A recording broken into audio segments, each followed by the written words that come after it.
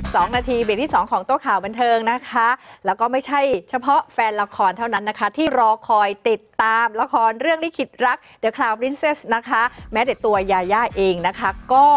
รอลุ้นรอติดตามอยู่ด้วยเช่นเดียวกันนะคะ ซึ่งละครเรื่องนี้ก็จะออกอากาศค่ะ ในวันจันทร์ที่ 14 พฤษภาคมนี้แล้วนะคะนางเอกของเรื่องยาย่าค่ะ ก็บอกว่าตื่นเต้นไม่แพ้แฟนละคร เพราะว่าเป็นเรื่องที่เธอตั้งใจทำงานมาก โดยเฉพาะกับบทบาทเจ้าหญิงอลิส ที่เป็นบททำให้เธอพัฒนาด้านการแสดง ไม่ว่าจะเป็นเรื่องของสายตา ท่าทาง แล้วก็ต้องสื่อให้เห็นถึงพลังอำนาจในการปกครองประเทศด้วย ในขณะเดียวกันนะคะ การร่วมงานกับแบรี่นาเดตรับรองเลยค่ะว่าคนดูจะไม่ติดภาพคู่จิ้นอย่างแน่นอนค่ะ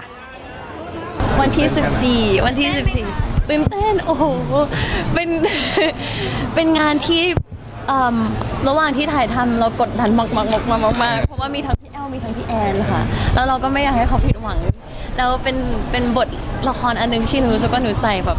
ล้านเปอร์เซ็นต์มาก ๆ ก็ตื่นเต้นค่ะว่ามันจะออนแอร์แล้ว แล้วพี่แอนไม่ ไม่แบบไม่ใบ้ให้เลยค่ะว่าสรุปตัดออกมาเป็นยังไง เพราะพี่แอนบอกก็เปลี่ยนนู่นเปลี่ยนนี่ก็ไม่รู้ว่าว่าสรุปแล้วว่ามันมันจะเป็นยังไงค่ะตื่นเต้นมากเอาหมายว่าเรื่องนี้มันโตค่ะแบบแบบเหมือนเหมือนทั้งคู่ผ่านอะไรมาในชีวิตเยอะ